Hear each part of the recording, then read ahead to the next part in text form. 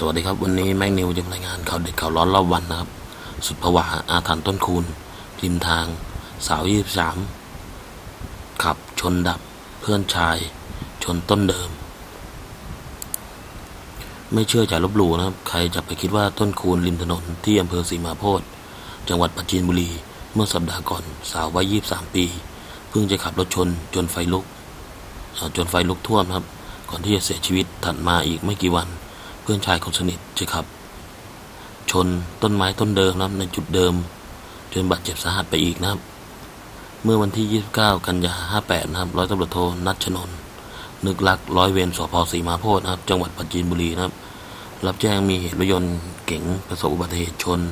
กับต้นไม้พุ่งลงเข้าป่าข้างทางนะครับ บริเวณถนนสายสุวินทวงศ์หลักกิโลเมตรที่ 27 นะครับ หมู่หนึ่งตำบลไผ่ชะเลือดอำเภอศรีมาโพธนะครับ จังหวัดปัจจินบุรีนะครับ จึงรุดไปตรวจสอบพร้อมหน่วยกู้ภัยร่วมกับตันอยู่นะครับ ที่เกิดเหตุพบรถเก่งโตโยต้าวีออสสีดำนะครับหมายเลขทะเบียนกไก่จจาน3077ปัจจินบุรีนะครับ ชนกับต้นคูณข้างทางนะครับ เสียหลักพุ่งเข้าป่าไปประมาณ 20 เมตรนะครับ สภาพด้านหน้ารถยนต์แถบขวานะครับ ยุบพังยับเยินนะครับ ถุงลมนิรภัยทำงานทั้งสองด้านนะครับ ส่วนคนขับติดอยู่ภายในครับ ทราบชื่อคือนายไพรัตบัวจันทร์อายุ 27 ปีนะครับ ชาวบ้าน หมู่ที่ 9ตำบลรอบเมืองอำเภอเมืองจังหวัดปราจีนบุรีนะครับ เจ้าหน้าที่ช่วยเหลือนำส่งโรงพยาบาลศรีมาโพธิ์แต่เนื่องจากผู้บาดเจ็บมีการสาหัสนะครับ จึงได้ส่งตัวไปรักษาต่อที่โรงพยาบาลเจ้าพระยาอภัยภูเบศเป็นการด่วนนะครับ จากการสอบสวนเบื้องต้นทราบว่านายไพรัตน์บัวจันทร์นะครับ ได้ขับรถมาจากตัวเมืองปราจีนบุรีนะครับเพื่อมุ่งหน้าไปอำเภอศรีมโหสถนะครับแต่ก่อนถึงจุดเกิดเหตุประมาณ 20 เมตรครับรถได้เสียหลัก ลงไหลทางครับก่อนพุ่งชนอัดกับต้นคูนข้างทางอย่างแรงนะครับ แล้วฉลับพุ่งเข้าป่าไปเข้าไปในป่านะครับทำให้นายไพรัตน์ได้รับบาดเจ็บสาหัสดังกล่าวนะครับ อย่างไรก็ตามที่น่าแปลกใจประหลาด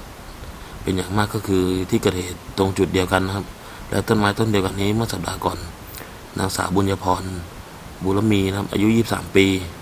ชาวบ้านหมู่เก้าตำบลรอบเมืองอำเภอเมืองจังหวัดปราจีนบุรีนะครับ ซึ่งเป็นเพื่อนสาวคนสนิทของนายไพรัตน์บัวจันทร์นะครับ ได้ขับรถปิกอัพโตโยต้ารุ่นไฮลักซ์สีดำนะหมายเลขทะเบียนกอไก่งองู2309นครนายกนะครับ พุ่งชนอัด